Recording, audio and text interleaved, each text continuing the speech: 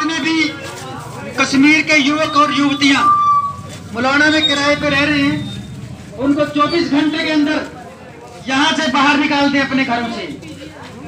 आप ये मत ये मत भूलो कि आप लोग बारूद के ढेर पे बैठे हैं। इनकी गतिविधियाँ बहुत गलत पाई गई हैं। इनमें से तीन लड़के मुलाना में ऐसे रह रहे हैं जो बड़े आतंकवादियों के छोटे भाई हैं।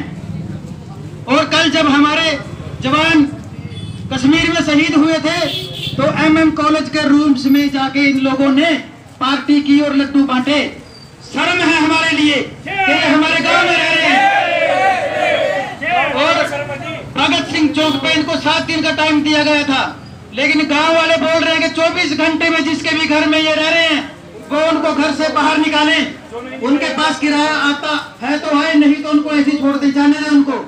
अगर 24 घंटे में बाहर नहीं तो पंचायत और सारा गाँव उस घर के आगे धरना देगा जिस घर में ये छात्र रह रहे होंगे। वो फिर वो फिर सारी जिम्मेवारी उस परिवार की होगी।